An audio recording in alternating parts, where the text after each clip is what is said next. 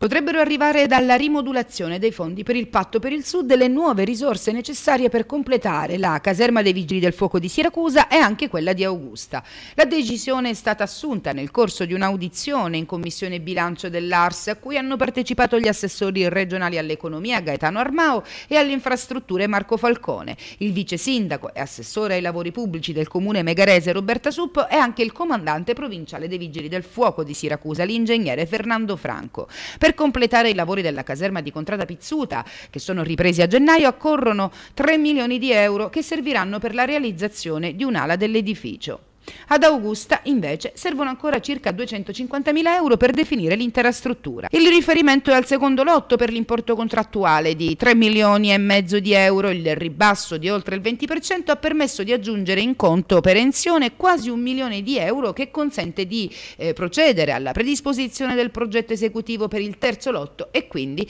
per la conclusione dei lavori.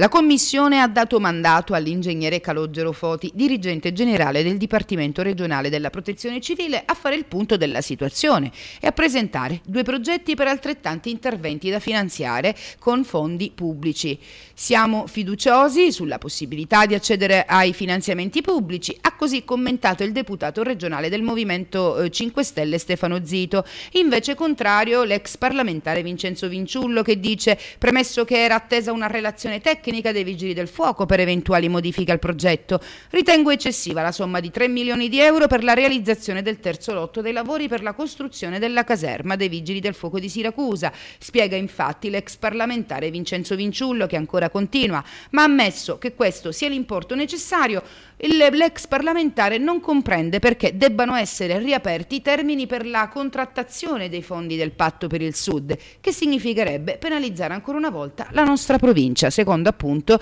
Vincenzo Vinciullo.